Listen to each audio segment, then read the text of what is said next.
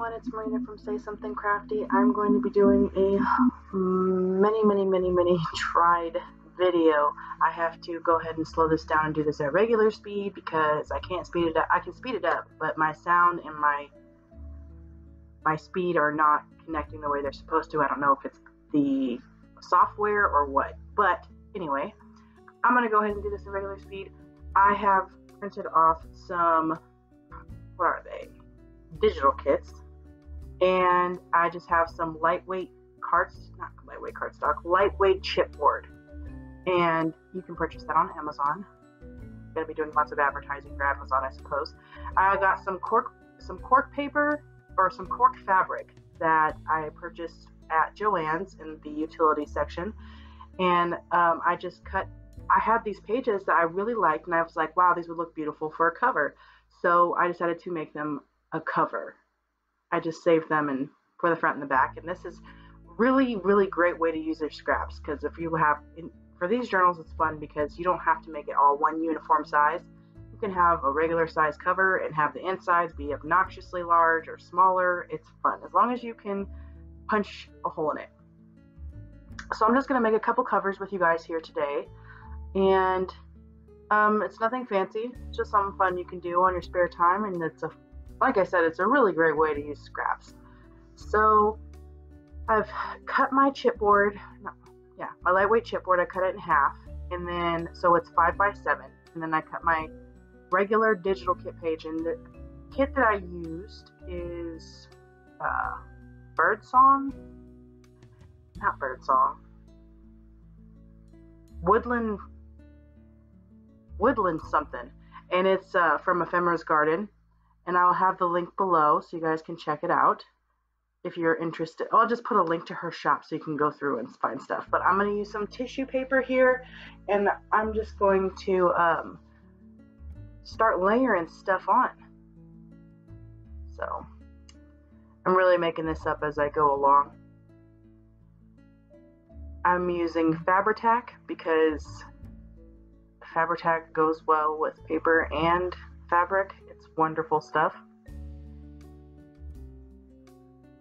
So I'm kind of just getting an idea or a feel for what I want to do. And um, I've put down uh, just a light layer of glue and I'm going to rip up this tissue paper and put it on.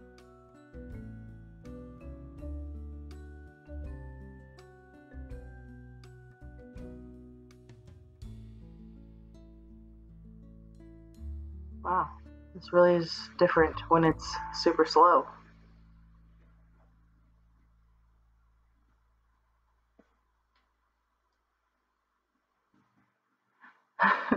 so um, I'm going to go ahead and tear some of the edges off.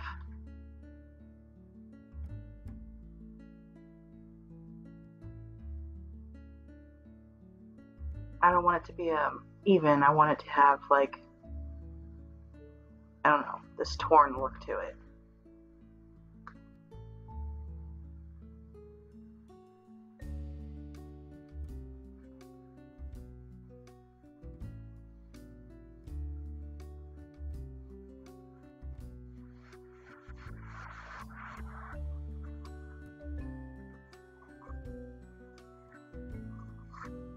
This is perfect to craft along to. Like this is at crafting speed, guys if you feel like crafting along with me.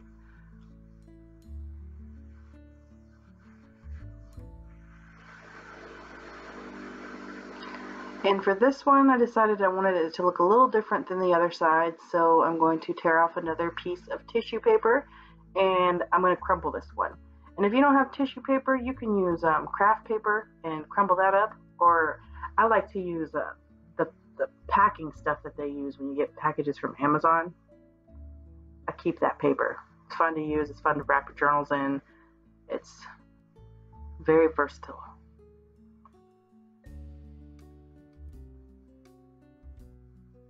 So when you're making your cover, you want to keep in mind what's your front and what's your back, and also where you're going to be putting the rings through. If you're wanting to make a larger one, you can use a three hole punch. For this, I'm going to use a Tim Holtz hole punch and it's just got two.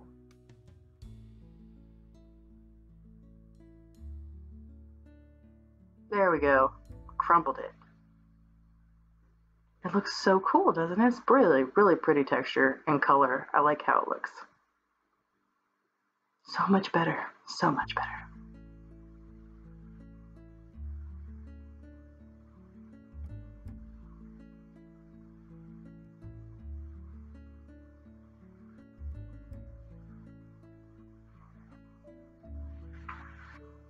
Trying to figure out what I'm doing right now because it's been a while.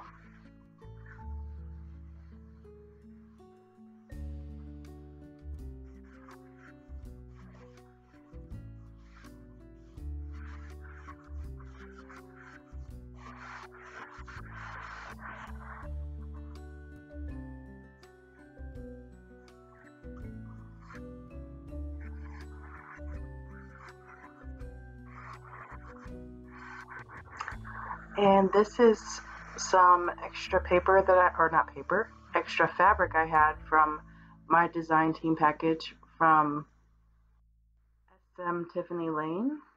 And if you're interested, I will have her link below. I'll also post a link of what I had, or a video of what I had in um, my package, and a journal that I made with it.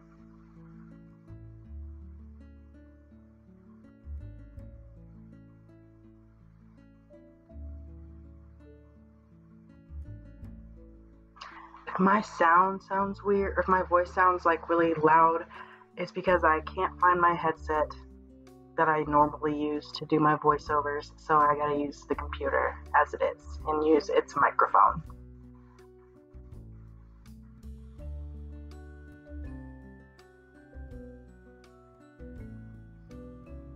So I'm just gonna glue this on. I frayed it to make it, you know, more interesting.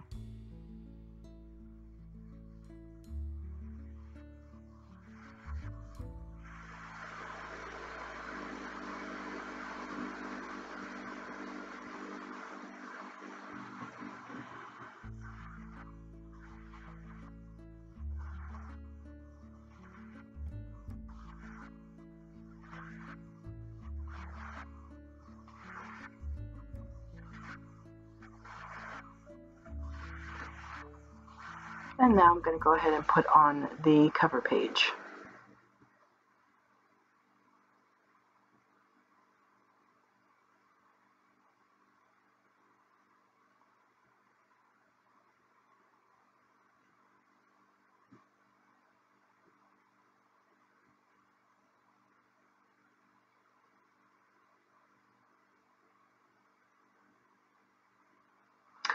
I think um, next time I do a video tutorial, I'm probably just going to talk while I'm crafting unless I can figure out what's wrong with my speed and the sound going together on this on this uh, program.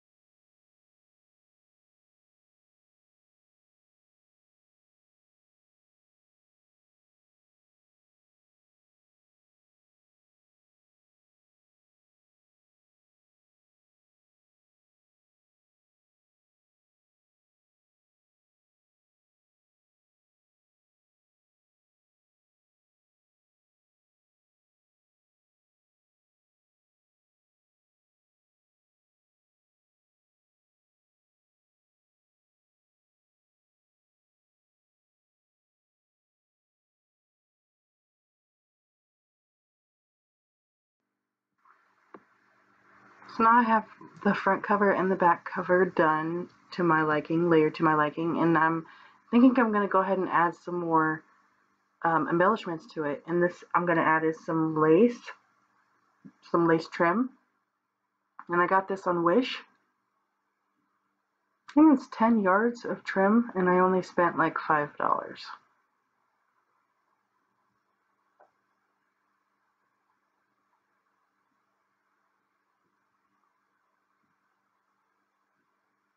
So I'm just going to move it around and see how I like it and where I want to put it.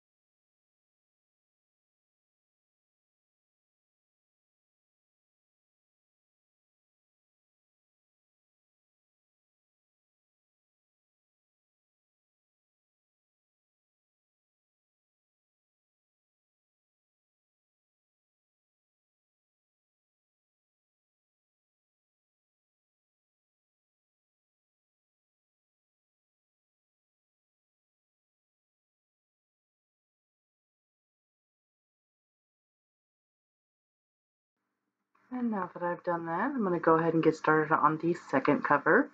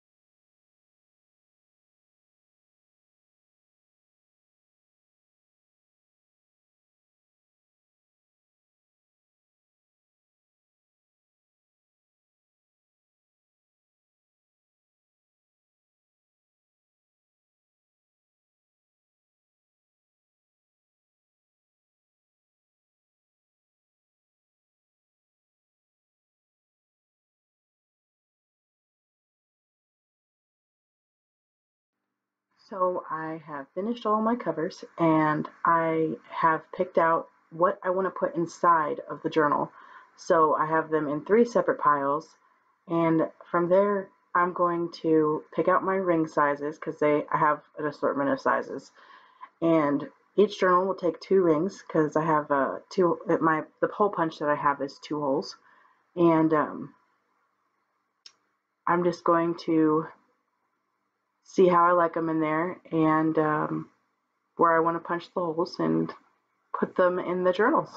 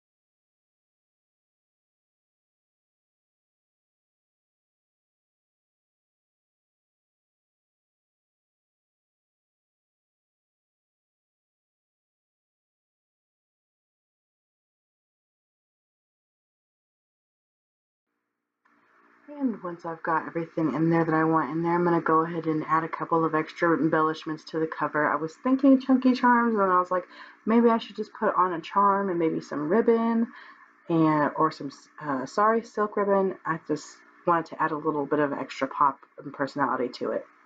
This is all optional.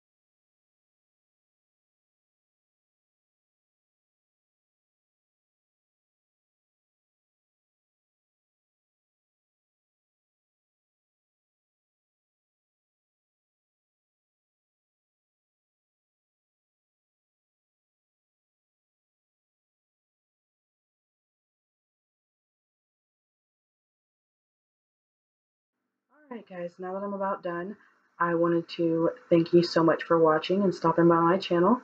I hope you found this video inspirational or that it at least gave you some ideas on some stuff that you could do.